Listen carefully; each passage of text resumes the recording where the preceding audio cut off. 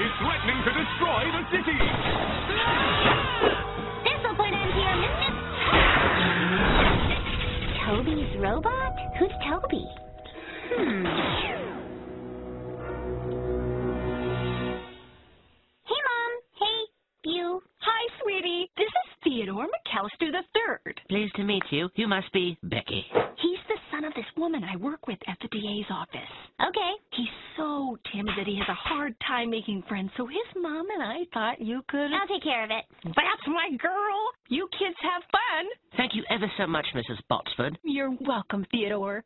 So, Theodore, what do you like to do for fun and... Ah, television. Only a family of imbeciles has a television. Well, we're not imbeciles. And how would you know? Imbecile is another word for idiot. We're not idiots. We only watch PBS. Hmm, interesting. Someone my age who actually has a brain in her head. Thanks, I think. Ah, word girl. Troublesome, but overrated and beautiful. What? I said overrated. You said beautiful. No, I didn't. Yes, you did. Well, if I thought she was the most beautiful creature I'd ever laid eyes on, would I do this?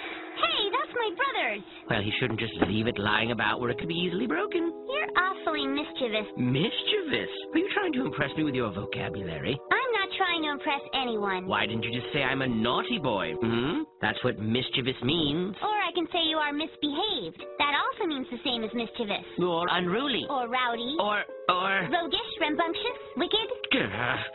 Where did you get that? I found it. It's mine. Is not. It's too. TTM. Theodore Tobey McAllister.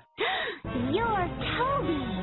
You're word girl? Has the mischievous young Tobey figured out Word Girl's secret identity? Next time to find out in the next exciting installment of Word Girl!